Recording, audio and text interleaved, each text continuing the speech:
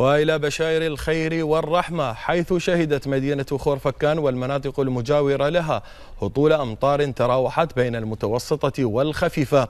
صاحبها انخفاض ملحوظ في درجات الحرارة. وتأتي هذه الأمطار من تشكل سحب ركامية محلية تسمى في هذه الفترة من العام بسحب الروايح الصيفية. ويمتد موسم الروايح حتى الرابع عشر من أكتوبر ومن ثم يبدأ موسم الوسم. وتوقع المركز الوطني للأرصاد أن يكون الطقس غدا صحوا إلى غائم جزئيا أحيانا مع فرصة تكون بعض السحب الركامية شرقا قد يصاحبها سقوط أمطار. والرياح خفيفة إلى معتدلة السرعة تنشط أحيانا تكون مثيرة للغبار نهارا. هذه اللقطات من تصوير مركز العاصفة.